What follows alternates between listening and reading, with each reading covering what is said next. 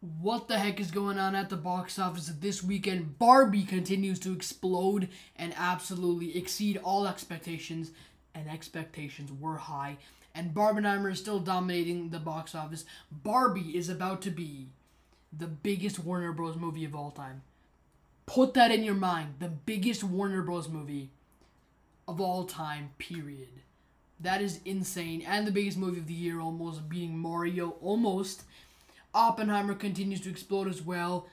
I mean, pun intended. It wasn't really intended, but now it's intended because I made the pun and I like that pun. So, anyways, Oppenheimer is continuing to explode, and it might, through projections, might even get to nine hundred million dollars. Insane, and has a chance at being the second highest grossing rated R movie of all time, behind Joker, of course, which is not getting beaten. That made like over a billion dollars. This film is currently the biggest rated R biopic of all time. Teenage Mutant Ninja Turtles Mutant Mayhem has not opened worldwide yet, so with that in mind, domestically it's doing pretty well. But I just hope it opens worldwide soon and that people get go to see it in theaters because I'm not sure if they will because the digital release date is September 5th.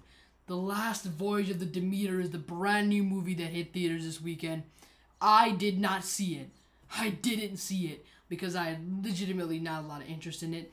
I might check it out if there isn't a lot of you know movies coming out in August, but right now it bombed real hard. It opened less than $10 million domestically. Yikes. Meg 2 is fizzling out at the box office, which it had a huge start and then had a minus 58% this weekend. That is just sad, but it's not a great movie according to people that I've seen it. I haven't seen it because, again, I had just no interest in it. Um, Gran Turismo opened worldwide, and France, in France specifically, it's doing really well there. Overall, it's doing fine, but it hasn't opened domestically yet. I've actually seen it at an early screening. I thought it was a fun time. My full review is on YouTube, like my on my main channel. But right now, that's what the box office is looking like. Barbenheimer is dominating still.